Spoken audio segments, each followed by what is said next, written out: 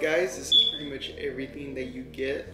So you got your rear bash bar and has brackets right here that mount to the chassis mount right there or stabilizer bracket whatever like the X bracket so that's the X bracket right there and then from there got your big carbon fiber wang this thing is huge like literally like here's my hand and here's that wing look at that.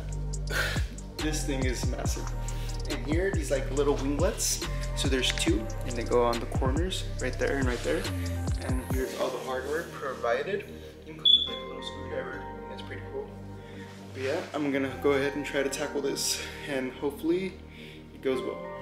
Because like i said um, they say i have to weld this to the chassis um, so let's see how that goes.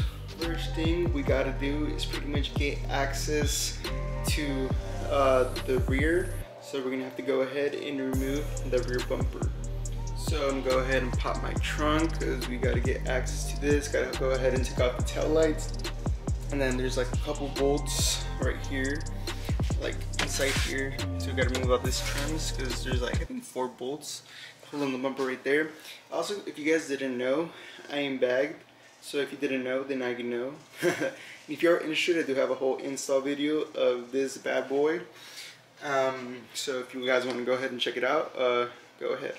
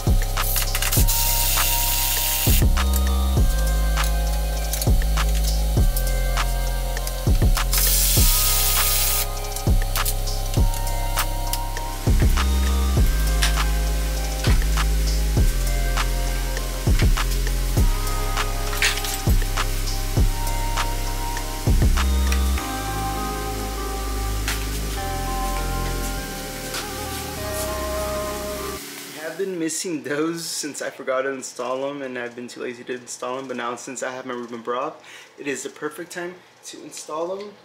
I got these nice little clear um, signal lights and they pretty much just go right here and then a nice little clear light, nice installed. Can't wait to see it, how it looks with the lights on because I haven't seen it with lights on in a very long time especially painted. So we got the rear bumper off. Now we're gonna go ahead and take off this rear uh, support beam or crash bar.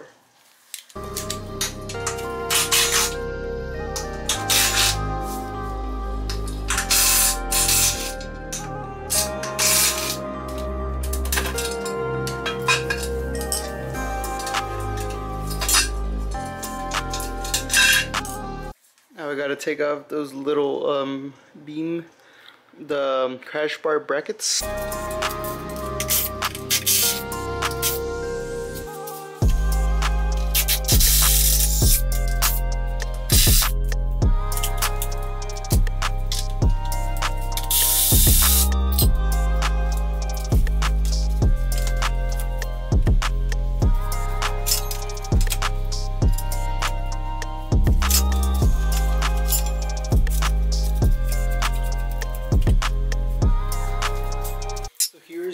Crash bar, the new bash bar that I'm installing.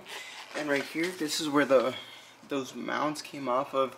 So right here, these two little studs, I think that's where these holes line up. That way you can kind of get like an idea on where to weld it. But this one is stripped and this one broke. So I have to see what I come up with that way to hold it down since one of my studs broke but I was able to kind of force a nut on this one that's the ones I was stripped but I was able to line this up and get a jack and kind of just line this up where I want so now I'm pretty much ready to weld it, but I mean, I think I'm just gonna tack weld it, just in case I don't like it, just grind it off, because I, I don't know if I'm gonna like this or not, so, I mean, we'll see.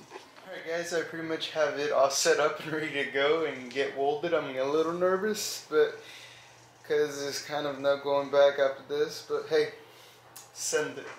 Alright, so I'm gonna go ahead and just, I'm just gonna tack weld it for now and mock it up and see how I like it.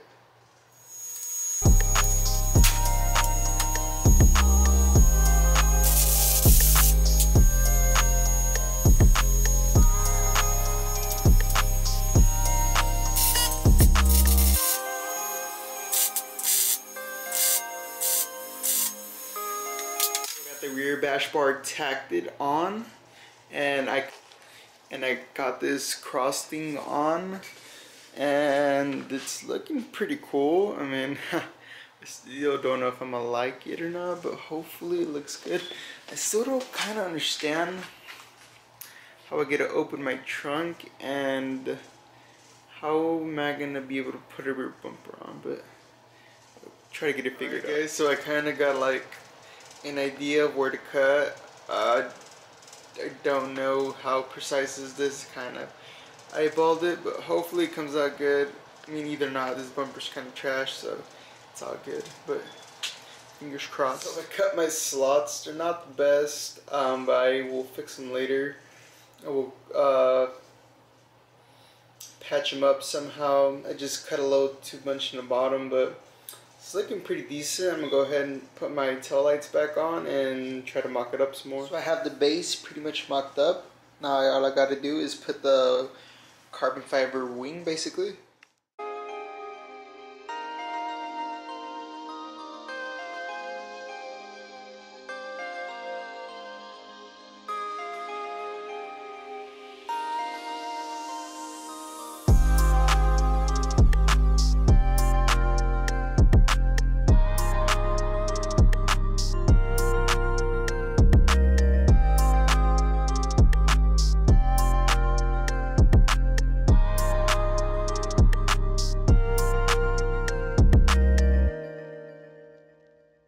Guys so the last clip that I recorded that day that I did install this wing was me pretty much putting on this uh, carbon fiber piece.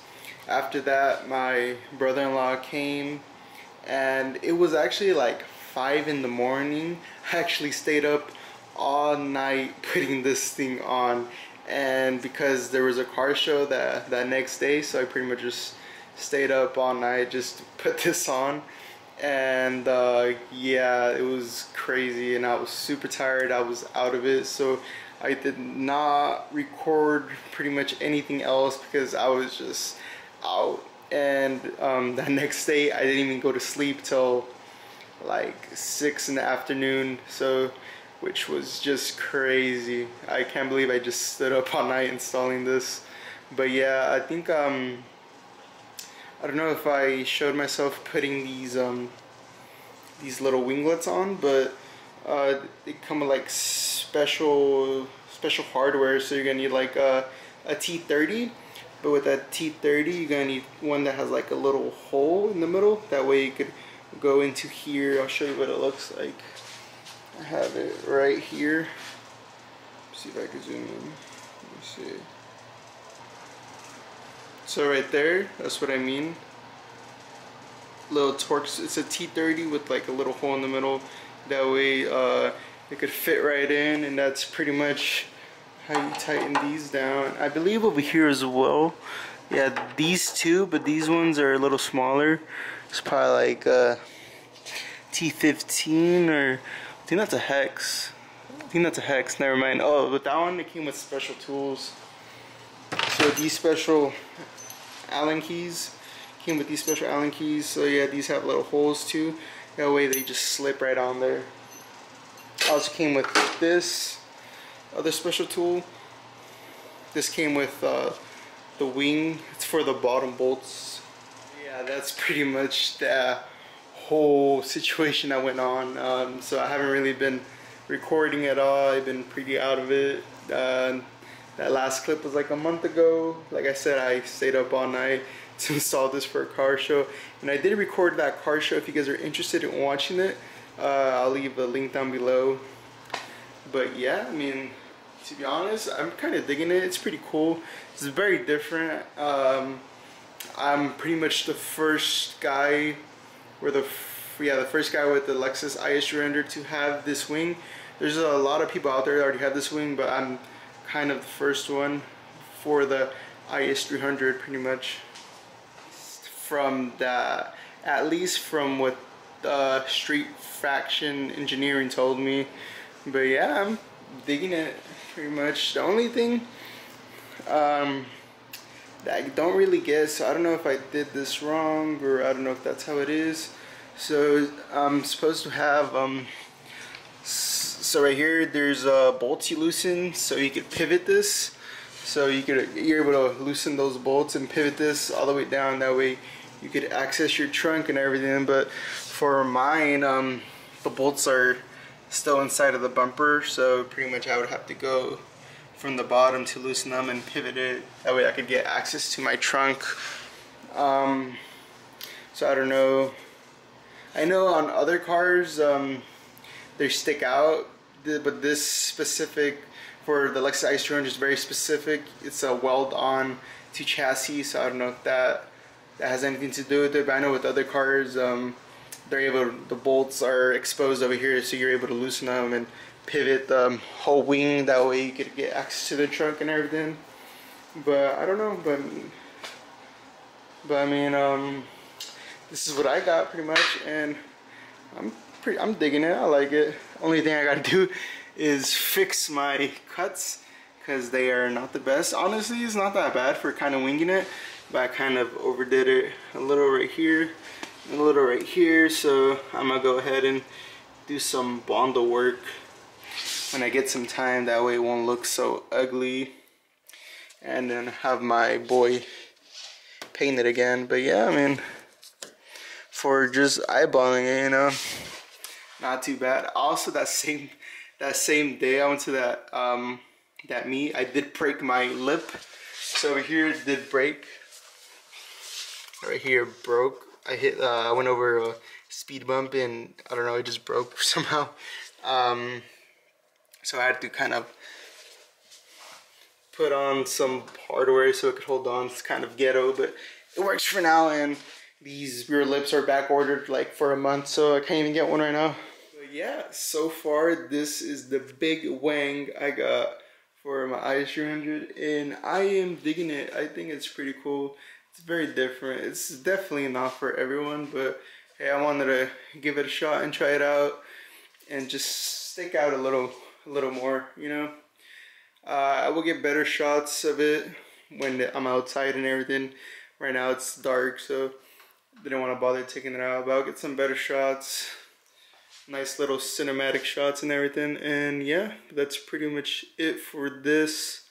Definitely um, a time consuming um, install because you kind of want to get things right. I mean I didn't get things right but I tried. Well I mean I 50-50 you know I just kind of winged it.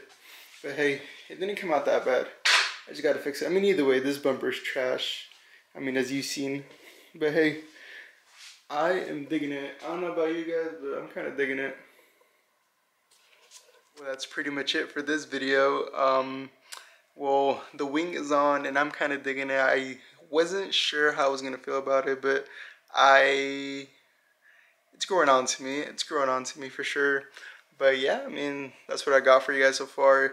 It's a very, very different from uh, what is my first time doing something like this and yeah I mean wasn't too bad very time consuming though. But I hope you guys enjoyed and stay tuned for the next videos. You can see here I got some TRD side skirts that I'm going to install and I'll catch you guys on the next one if you stick around. Thank you so much for watching and stay progressing